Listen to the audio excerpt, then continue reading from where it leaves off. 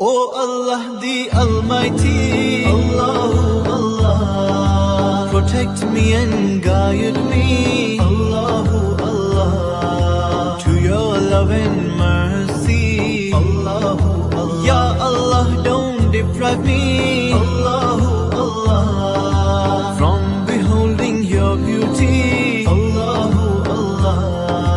Oh my Lord, accept this plea.